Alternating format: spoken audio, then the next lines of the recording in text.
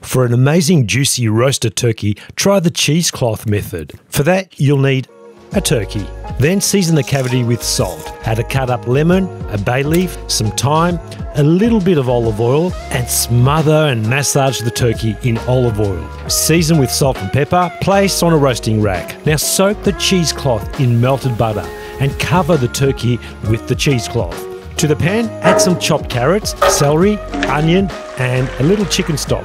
Place the turkey in the pan and cook at 300 Fahrenheit. Remove the cheesecloth and continue cooking until crispy. For the gravy, sprinkle flour, add the dry sherry, reduce and strain.